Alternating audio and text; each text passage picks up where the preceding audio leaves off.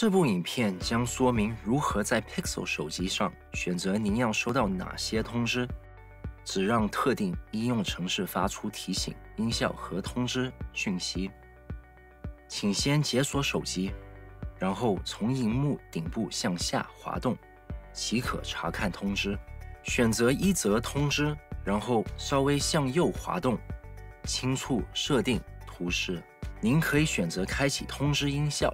或让通知在显示时不发出音效。如要关闭这个应用程式的通知，请轻触关闭通知，然后轻触您要关闭的通知类型，再轻触套用。如要变更这个应用程式的更多通知设定，请轻触显示更多。